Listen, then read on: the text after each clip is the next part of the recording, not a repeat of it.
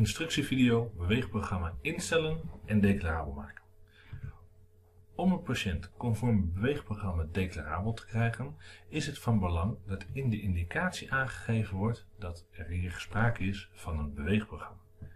Ga hiervoor naar het veld Wijzig indicatie en zorg ervoor dat het vinkje Beweegprogramma aanstaat. Zodra dit vinkje aanstaat, zal VisualRoadmap een andere declaratieflow aanhouden voor het declareren van de behandelingen van deze indicatie.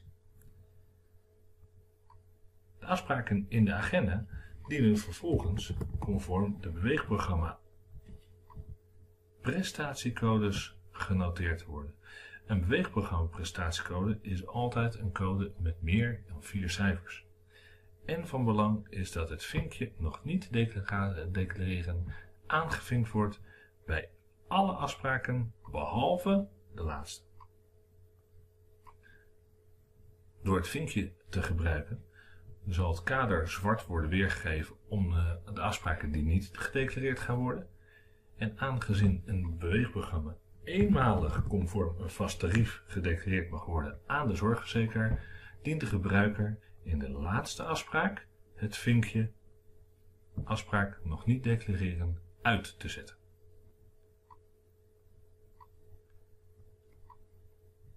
De afspraak die declarabel is, is dus niet voorzien van het zwarte kader. In de declaratiehistorie ziet hij er als volgt uit.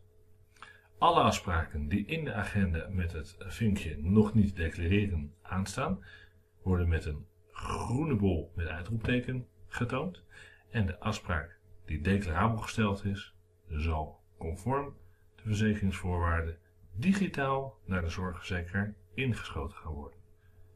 In de tab declareren bij de zorgverzekeraar ziet het er als volgt uit. Er is één behandeling die in dit geval voor 350 euro gedeclareerd gaat worden.